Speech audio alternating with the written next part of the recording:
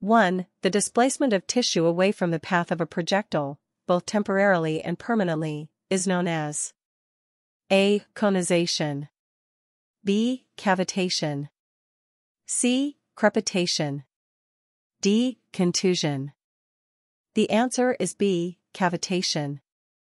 2. The single most important factor in determining the potential for injury due to energy exchange is A. Mass of the bodies involved.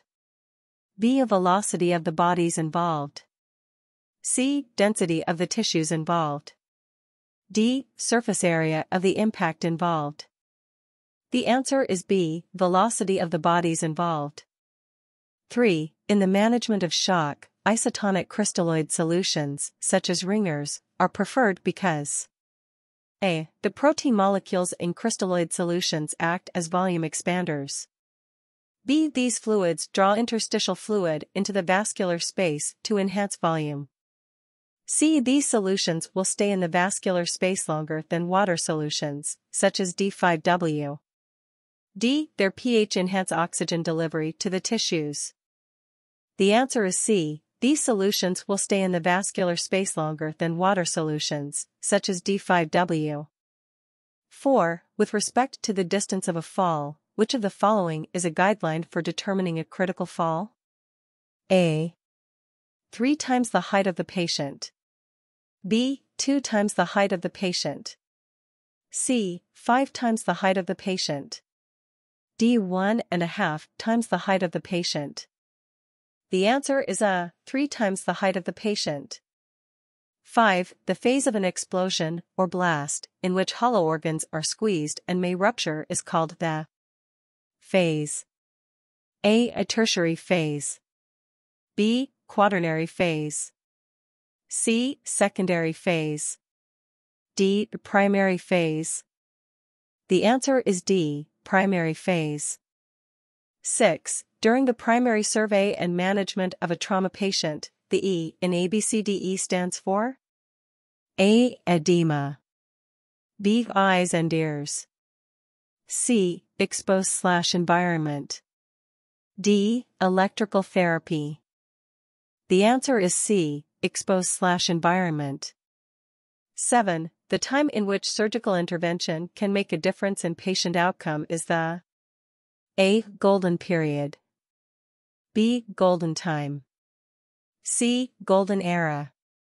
D. Golden minutes. The answer is A. Golden period.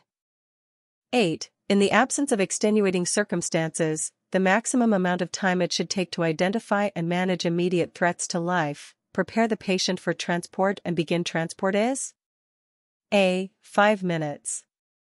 B. 10 minutes. C. 15 minutes.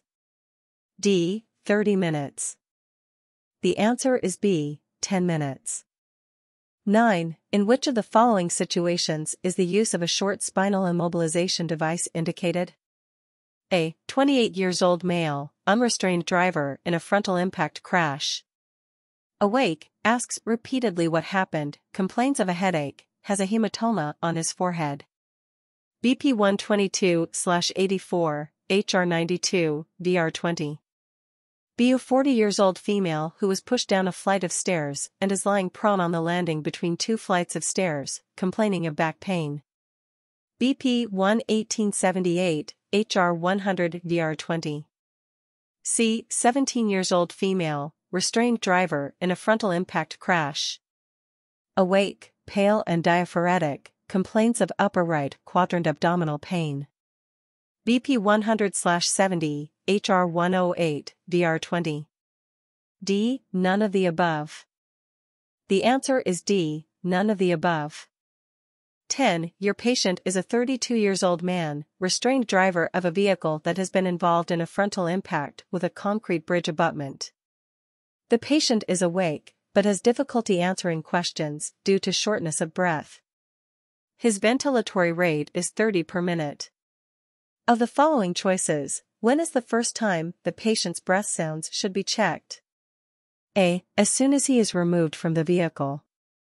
B. Prior to being removed from the vehicle. C. As soon as he is immobilized on a long backboard.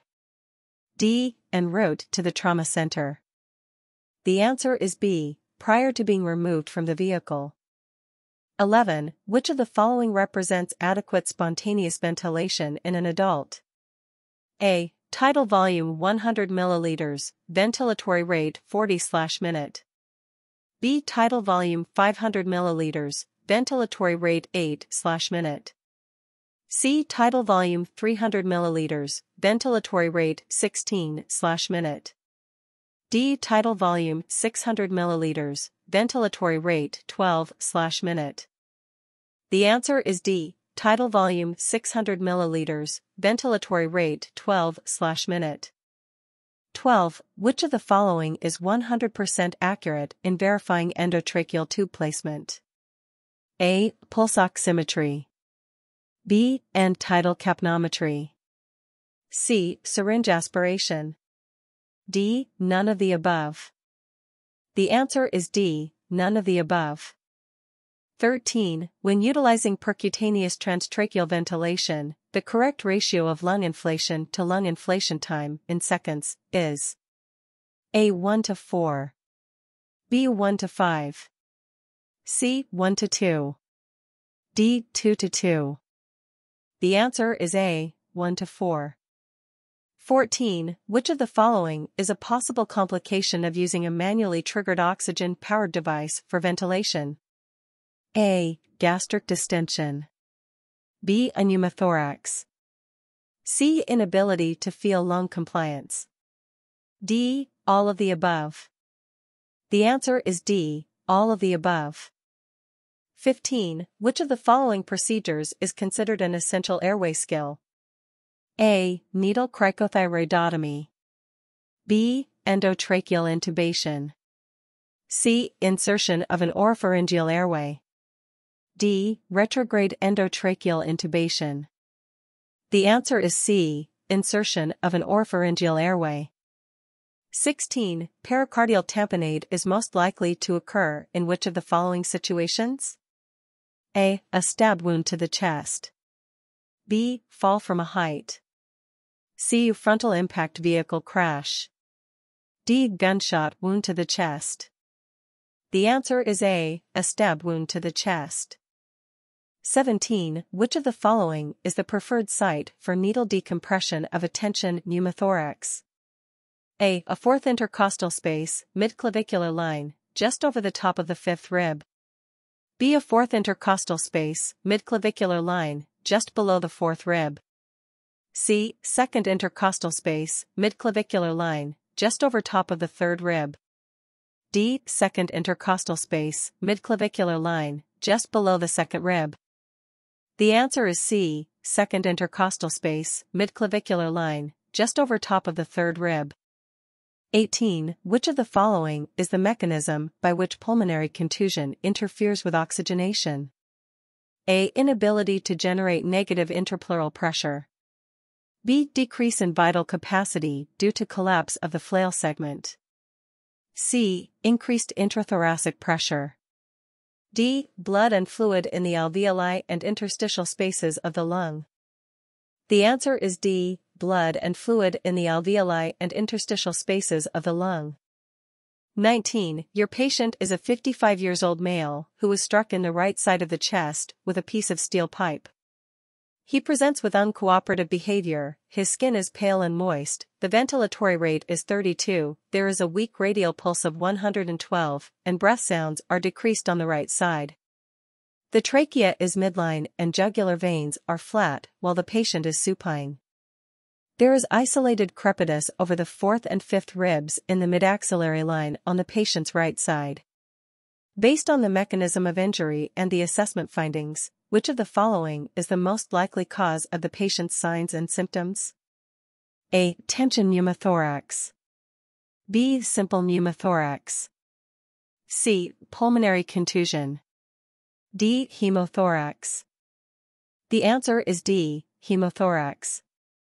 28. Deterioration of ventilation and oxygenation after inflation of a PSG in a patient who has sustained a high-pressure compression injury of the abdomen, such as a sudden deceleration with the lap belt placed across the abdomen, most likely represents which of the following injuries? A. Abdominal aortic aneurysm. B. Ruptured diaphragm. C. Ruptured esophagus. D. Paper bag syndrome of the lungs. The answer is B. Ruptured diaphragm. 21. Which of the following is not a component of the Fick principle? A. Adequate number of platelets in the blood. B. Oxygenation of red blood cells. C. Transportation of red blood cells to the tissues of the body. D. Offloading oxygen from the red blood cells to the tissues. The answer is A. Adequate number of platelets in the blood. 22. One of the earliest signs of hypovolemic shock is A. Hypotension. B. Bradycardia. C. Anxiety. D. Reduced urine output. The answer is C, anxiety. 23. Which of the following characterizes the washout phase of shock?